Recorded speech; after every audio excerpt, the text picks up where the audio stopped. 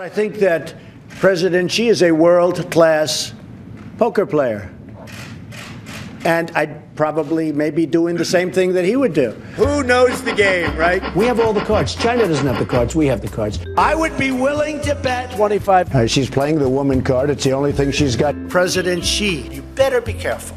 Uh, I have something. Oh, gee, maybe we can get lucky. I would be willing to bet 100.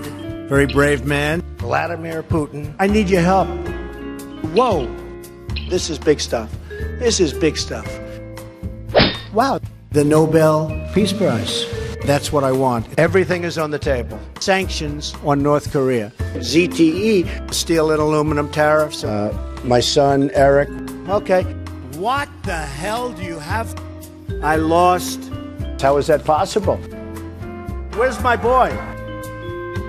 Actually, I was talking about the Nobel Peace Prize. You can have them. Bye bye. Now we're going to really do it again. And this time, I would be willing to bet the Washington Monument.